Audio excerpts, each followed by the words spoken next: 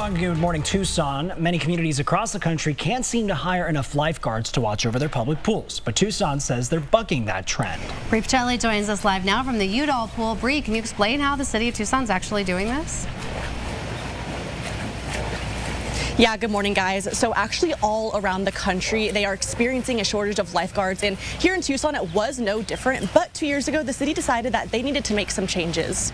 In 2022, Tucson had only 88 lifeguards and could open just 10 of their 20 pools. So they decided to, one, raise the lifeguard salary and two, focus on the chemistry and culture for the lifeguards. When these changes were announced, many in our community jumped on this opportunity.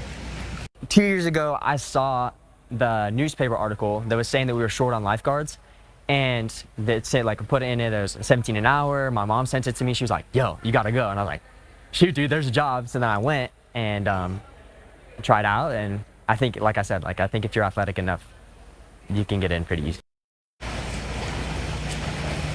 So now that our pools are fully staffed, there's so much more the community can look forward to. I mean, if you take a look behind me, there's people already out in the pools this morning, nice and early, but they have swim lessons, they have aquafit classes, and there's even some locations that have therapy pools, so you can even go to that, and I will have all the information on kgun9.com if this is something that you're interested in, but for now, I'll send it back to you guys in the studio.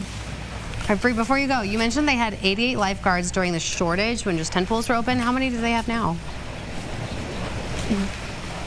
Yeah, so they had 88 lifeguards two years ago, and they only had 10 pools open because of that. But now, with all 20 pools open, they have about 320 lifeguards. So that's a huge jump just in the past two years with these changes that they made. So it's really awesome. Great to see. I'm glad they're taking you know safety so seriously, and that the pools are staffed. More watchful eyes means more fun for everyone else, Bree, yeah. for sure.